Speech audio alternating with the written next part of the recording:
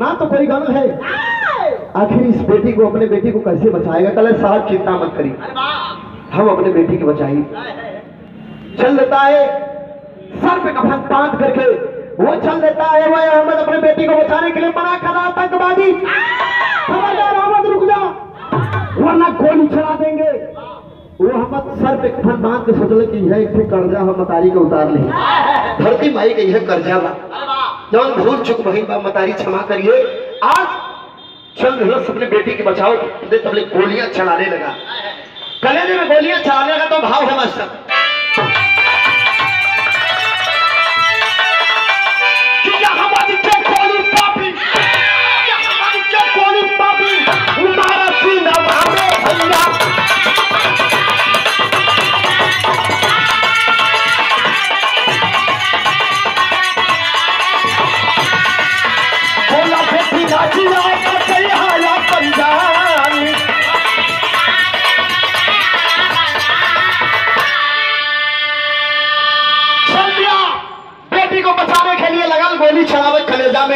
गौर कीजिएगा उस सीन पे। एक हाथ से लड़की के छोड़ के दोनों हाथ से गन के पकड़ के लगन गोली कलेजा में चलावे। ओ अहमद के, इतना ही में लड़की मौका पागिल कुछ दूर भगल। तब ले फौजी प्रेरना सिंह सोच गई तो कलेजा में गोली चलाओ मैं अहमद की सड़क दे जमी से गन को उठाता है और एक गोली दाग दे कलेजा में। तगड़ा तो ज़रूर, लेकिन एक घटना घटी होटल मास्टर?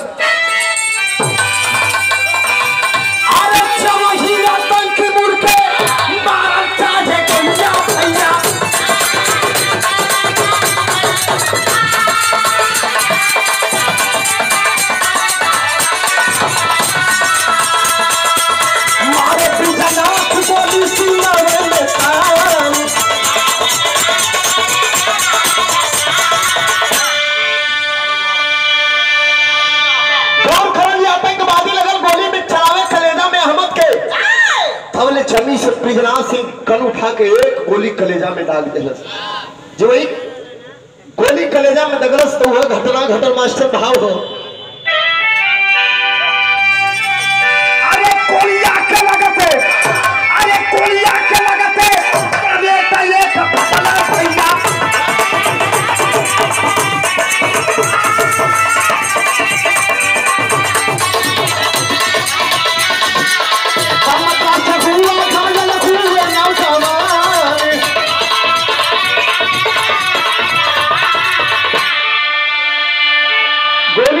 सिंह के ज़रूर दगलस कलेजा में लेकिन ओकरे जेब में ग्रेनेड बम रहल और जाके गोली ग्रेनेड बम पर लगल और ब्लास्ट हो गई। चिथड़े में लाश सहमत की और आतंकवादी की। लाश चिथड़े में तब्दील हो गई। और हमारे हिंदुस्तान के कई फौजी जवान उस पंप के धमाके से कुछ दूर पर गिर पड़े। आनंद फानन में फौजी जवान एंबुलेंस को बुलाते हैं और जवानों को उस एंबुलेंस मिला करके हॉस्पिटल में एडमिट करा दिए। और दो जवान, फौजी जवान सही सलामत उस नाजिया को उसके घर भिजवा दिए। कहानी यही से मोड़ लेतबा फौजी जवान।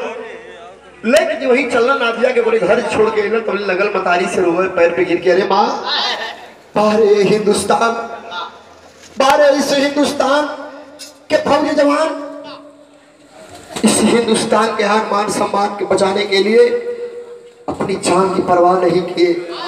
पिताजी तो इस दुनिया को छोड़कर चले गए माँ। लेकिन मुझे थोड़ा से भी गम नहीं है क्योंकि वो गद्दार पिता थे। देश के प्रति गद्दार पिता थे। अरे माँ मुझे कोई गम नहीं है। मर गए पिताजी कोई बात नहीं है। ए, उनके साथ कराओ। साइड भी हटा तो। कोई गम नहीं है।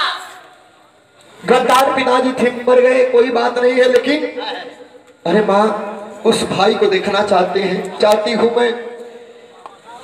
जिस भाई ने मुझे आज बचाया और इस हिंदुस्तान के आन मान सम्मान को बचाया मतारी बेटी, दोनों लिपट के रोज लगली और हॉस्पिटल की ओर बढ़ रही वो फौजी जवान के देखा मुझे फौजी ब्रजनाथ सिंह।